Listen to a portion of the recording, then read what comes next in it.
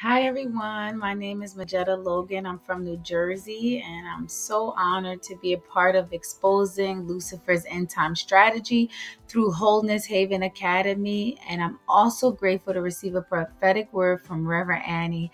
Um, in this school, I learned how Satan deceived God's people and how we fall so far from the truth. And that is the one true living God um, either through the act of our free will or through pure ignorance. I learned of the many um, ways that the enemy have legal right over us, uh, the end time strategies and agenda for us as a nation, ritual abuse, ancestral worship, and all sorts of things, including celestial beings.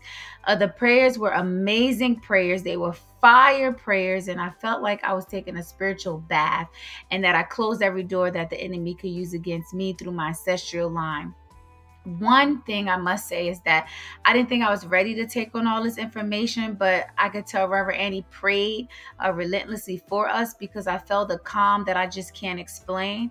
Uh, there was a lot of information to take in, and even if it was difficult information at times, we received like it was just so calm and it was just so reassuring. And we received personal prophecy through reverend annie. I was able to pray in tongues. The power of the holy spirit took over at that time.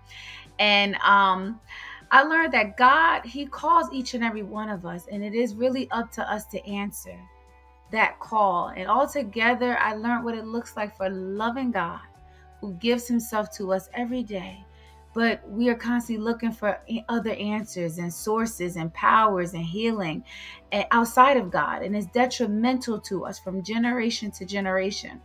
But this school was an investment as I was able to learn uh, the wealth through our Lord and Savior Jesus Christ. Amen.